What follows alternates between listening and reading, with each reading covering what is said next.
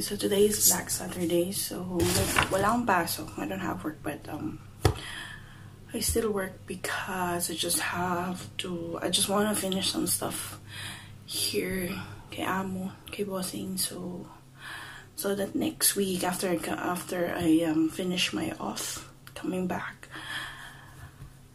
after my, after, after Tuesday,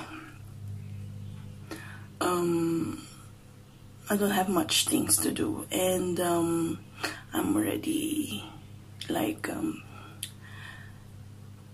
ahead na ako sa ahead na ako sa mga bagay na gagawin ko and at least I can also have time with the kids and I don't have to worry some other stuff. Anyway so since this morning I'm gonna make a coffee. So today's video Um, so, hello. So, today's video, um, gagawa ko ng coffee. So, I'm gonna show you kung paano gamitin itong DeLonghi coffee maker. So, for those of you na hindi marunong gumamit, hindi naman. For those of you na, na naiilang or parang hesitant kung paano gamitin. So, pakita ko sa inyo kung paano siya gamitin. So, make sure of course syempre bukas.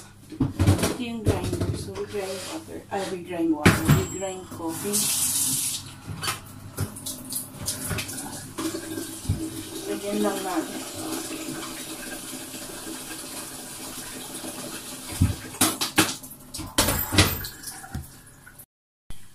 Okay, so today, papakita ko sa inyo paano gamitin yung ito. So, hindi na natin siya i-unbox kasi bukas na siya. Tagal namin. Papakita namin. Papakita ko sa iyo yung ginagam, ginag namin. So,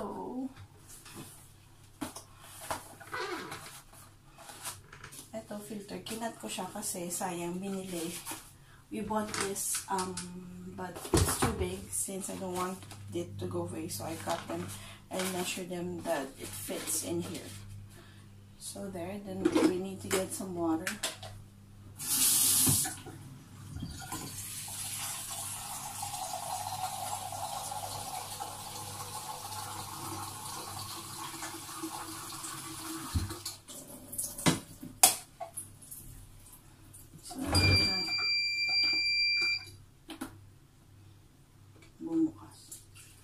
So pour water.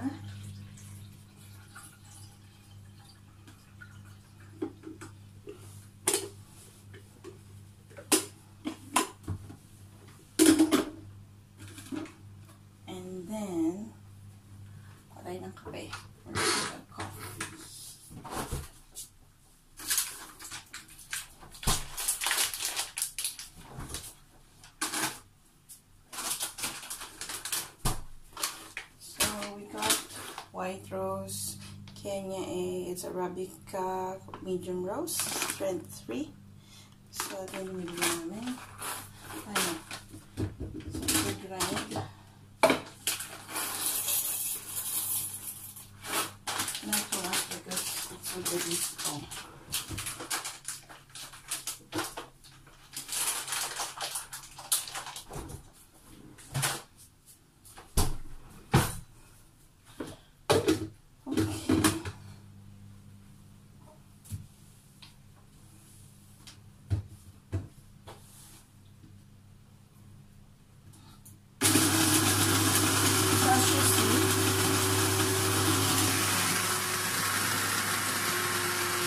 Nag-iilaw yan. So, nakita nyo, nag-ilaw na yung coarse. And then, yung medium. then, wait until the wine go to fine. Yan. So, since filter ang gamit ko, yung may paper akong gamit na to. So, ipipress ko siya na sa dalawa. Just to be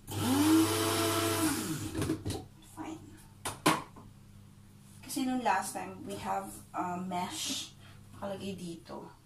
Pero nasira kasi siya. So, now that we have this paper, pwede mo siyang talagang gamitin totally very, very fine.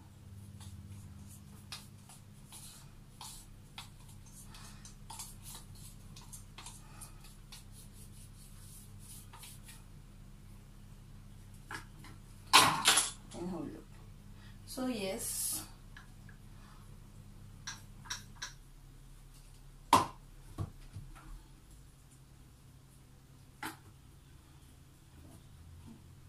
So usually we make coffee every day.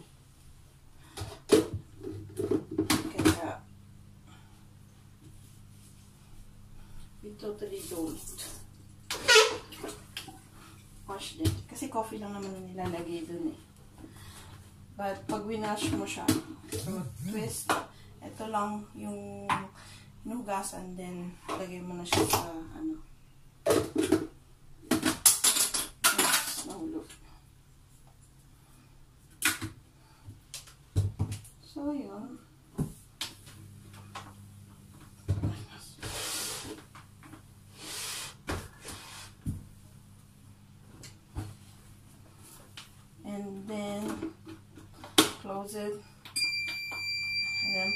This. This is gonna make a sound like that and then aroma.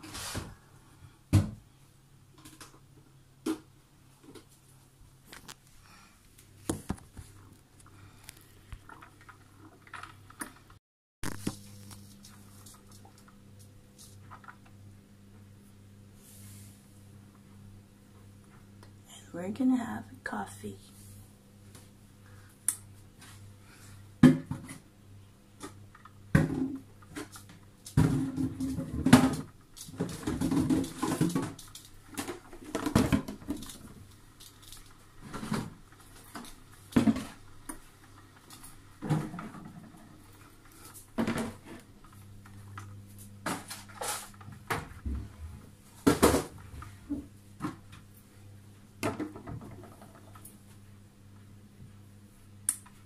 Habang naghihintay ako, ayusin ko yung sink. Ayusin. Yung... Ayusin ko yung kitchen.